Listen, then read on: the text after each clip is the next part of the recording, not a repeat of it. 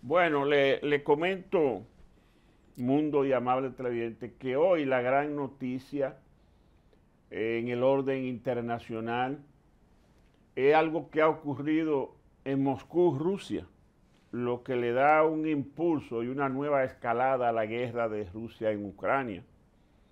Sucede que el Kremlin, mediante una nota oficial, reportó que dos drones fueron derribados cuando se aproximaban al edificio del Kremlin y que ellos lo consideran como un atentado al presidente Vladimir Putin, que es ahí que vive.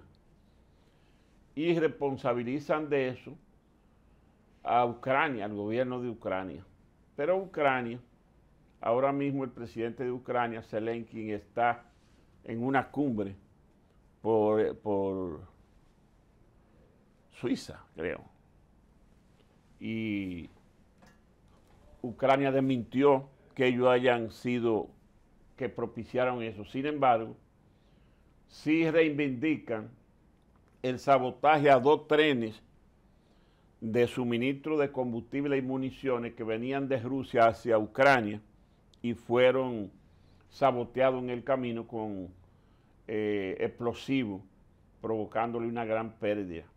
Y también eso coincide con lo que es eh, la respuesta militar que eh, Ucrania ha estado preparando durante tiempo para la contraofensiva que comenzó el sábado. O sea, los rusos, los ucranianos duraron alrededor de 45 días reorganizando sus tropas, acoplando equipos militares nuevos que recibieron de Occidente a los fines de rehacer la contraofensiva que ellos están llevando a cabo. Y puede hacer que esa parte, que lo que se produjo hoy en Moscú, Rusia, en la cercanía del Kremlin, sea parte de esa estrategia ucraniana, aunque muchos medios no descartan que se trata de una contrainformación de Rusia a los fines de victimizarse sabiendo el desastre que ellos están haciendo en Ucrania. Y él está ahora mismo, don Freddy, en Finlandia, en, una cumbre con líderes nórdicos. Sí, sí, sí. Líderes nórdicos, que son los países que acabamos de mencionar. Lo que acabamos de mencionar, sí. Que son los que tienen mayor libertad de prensa y que además son los países con el mayor índice de desarrollo humano del mundo. Mire, don Freddy, no obstante, eh, es bueno que, que Zelensky desmienta eso pronto.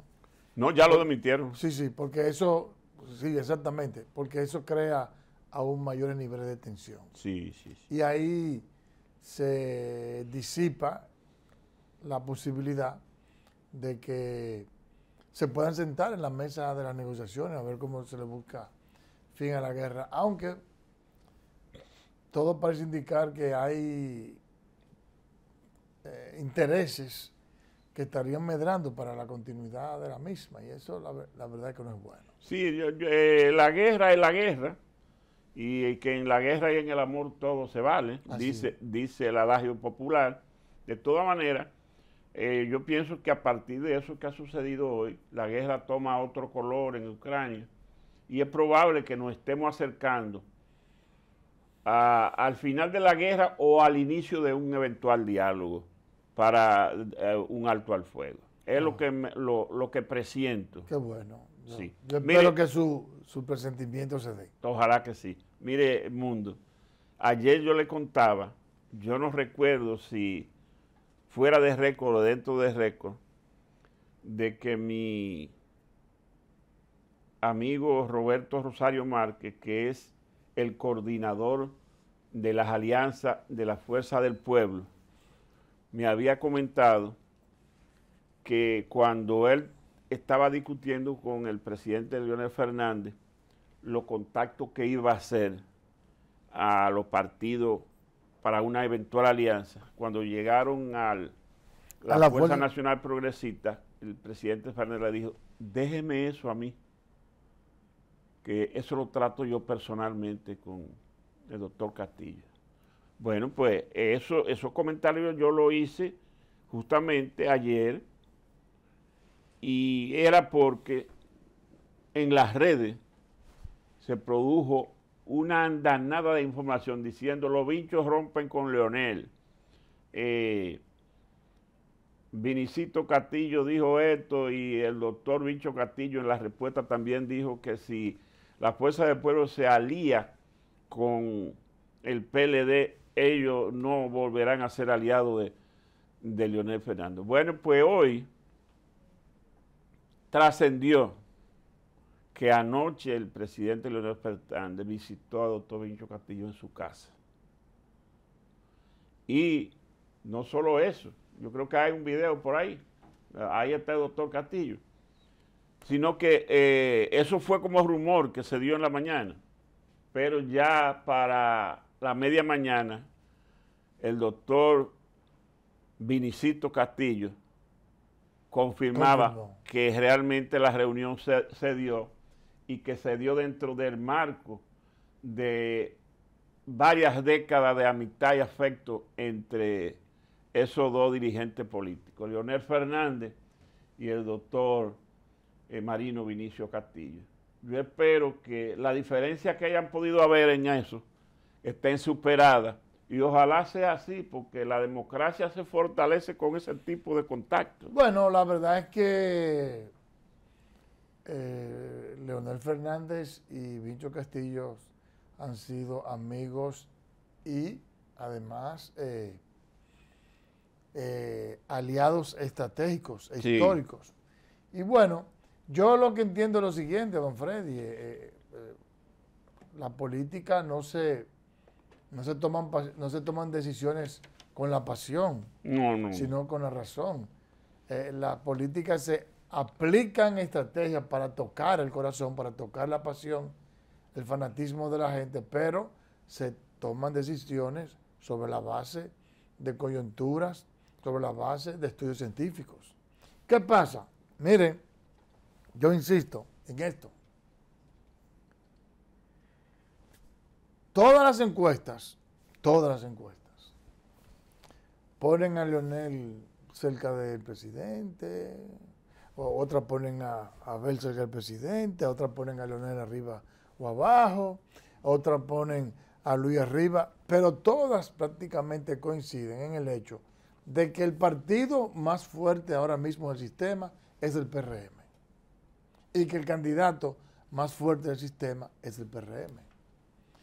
¿Qué dice la coyuntura actual? Bueno, que si se van individuales gana el PRM sí. y gana Luis Abinader y mucho más si está en el poder, que de seguro ese poder se va a manifestar en el proceso electoral. Entonces, si un partido quiere alcanzar el poder, no puede estar pensando con el corazón, con el odio, con resentimiento. Tiene que tomar decisiones objetivas. La única manera que, la oposición tiene fuerza para enfrentar al gobierno es si se une. Y de manera muy particular, si se unen el PLD y la fuerza del pueblo. Luego lo que tiene que haber es una adecuada negociación de manera tal que ellos sientan que en esa alianza van a salir ganando ambos, ambos bandos y todos los que participen ahí. ¿Quién va a ganar la presidencia? Bueno, no lo sé. Eh, las encuestas dicen y las manifestaciones dicen que, en una en una en una en, una primera vuelta Leonel debería de sacar más, mejor votación que Abel. Ahora mismo puede pasar lo contrario. Pero el caso es que gane quien gane, bueno, vamos a repartir o a tratar de repartir lo que son los regidores, lo que son los diputados, los senadores, los alcaldes, de manera tal que yo alcance o no el sueldo presidencial, por lo menos me quede con una adecuada representatividad congresual y municipal y pueda seguir siendo un partido mayoritario y un partido que pueda incidir en el aspecto político. Pero si siguen con la rencilla y las pasiones y el ego y el odio y el rencor, lo que va a pasar es que se va a establecer y va a triunfar la estrategia real que tiene el gobierno de Luis Abinader, que es mantener a la oposición dividida, razón por la cual ganaron. Así es. Y, pero además, el doctor Castillo es un político demasiado experimentado y un hombre de mucha sabiduría y sabe que en política eh, no hay ni amigo ni enemigo, sino intereses. Entonces, se hace lo que conviene. Se hace lo que conviene. O sea, eh, la diferencia entre Leonel Fernández y Danilo Medina lo llevaron a dividir ese partido. Y Leonel se fue y todo el mundo sabe que esa gente no se quieren bien. Pero en aras de tomar un camino recto para llegar al poder, una alianza eh, estratégica. Como dice pudiera darse. No sé si ustedes llegan los tweets de Humberto Salazar. Sí, Él dice, por amor o por dolor. Hay, que, hay que aliarse. Claro, entonces yo pienso que eh, tanto Leonel como el doctor Castillo conocen de eso más que uno. Claro. Y saben que la, a veces usted no está de acuerdo eh, y tiene que hacer una cosa con la que usted no está 100% de acuerdo permanentemente, pero que en ese momento debe aceptarlo. Usted quería ver una cosa más dispar que lo que se produjo la alianza entre el PLD y el Partido Reformista aquella vez cuando llevaron a Leonel como candidato y, y, ganaron el poder. Así es. Entonces, esos partidos era como del cielo a la tierra. Porque si precisamente alguien era el, enemigo eh, irremediable, ¿cómo le, podría poner? El, el, enemigo político real, que habían dos enemigos políticos reales en la segunda parte del siglo XX, eran Joaquín Balaguer sí. y eh, Juan Bosch.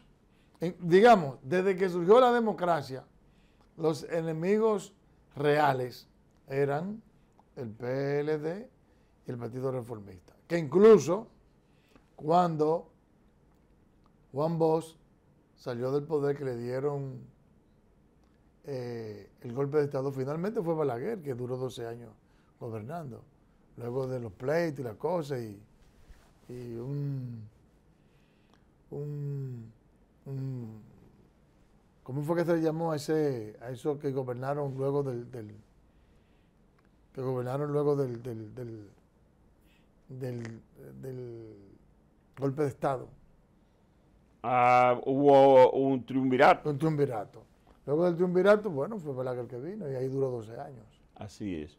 Mire, Mundo, el día informativo marca hoy un evento importante que está como noticia principal en todos los medios, tanto en los digitales, en las redes, como en los periódicos impresos. Es el viaje del presidente Leonel Fernández que se produjo hoy al mediodía con destino a Londres, allá en Reino Unido, pero vía la Florida.